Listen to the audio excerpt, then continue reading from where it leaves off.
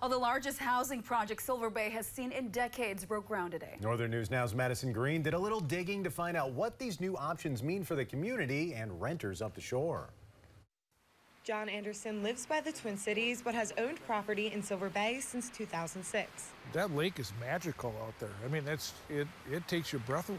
Anderson is a developer for Boathouse Bay, a new recreational residential housing community stretching from Highway 61 to Lake Superior that broke ground Wednesday.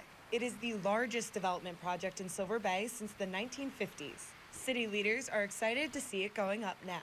Area right here is owned by the developer, and this is what he was originally going to develop. And we asked him if he had the ability and the desire to help support the city's vision and expand his development to include that area of the city.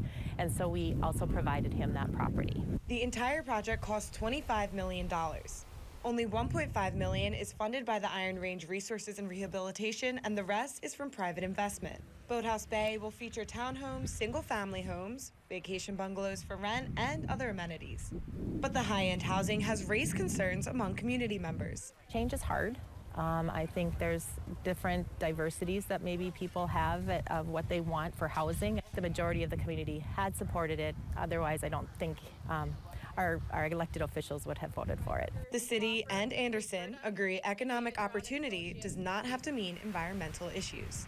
And yet protect the land at the same time. I think we're taking a piece of property that people would still be driving by 10 years from now and saying, you know, and ignoring Silver Bay.